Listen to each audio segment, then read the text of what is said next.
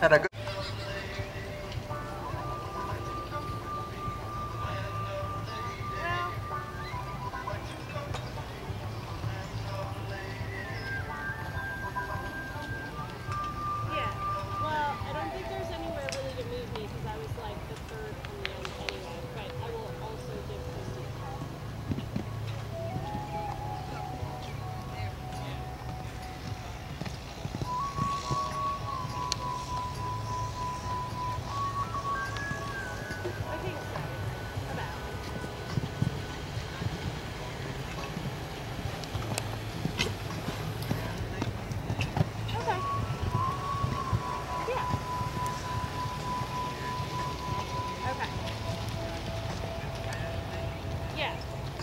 And a clear round by Kevin Babington, uh, time 34.6 in second place right now.